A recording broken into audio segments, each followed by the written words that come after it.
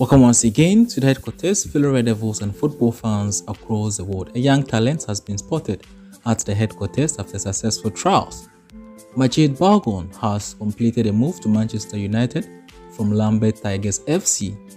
He's a forward and the first ever player to join United directly from Lambeth FC.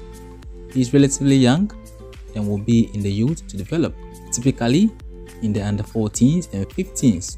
Majid has already made his name in the grassroots at Lambeth Tigers FC, so seeing him develop with us is great for the future of the club. He's already visited the first team dressing room and also met his idol Paul Pogba at the club's headquarters. As you can see, he also toured Carrington training grounds where he looks forward to train in the future. Welcome to United, Jean Majid Bargon.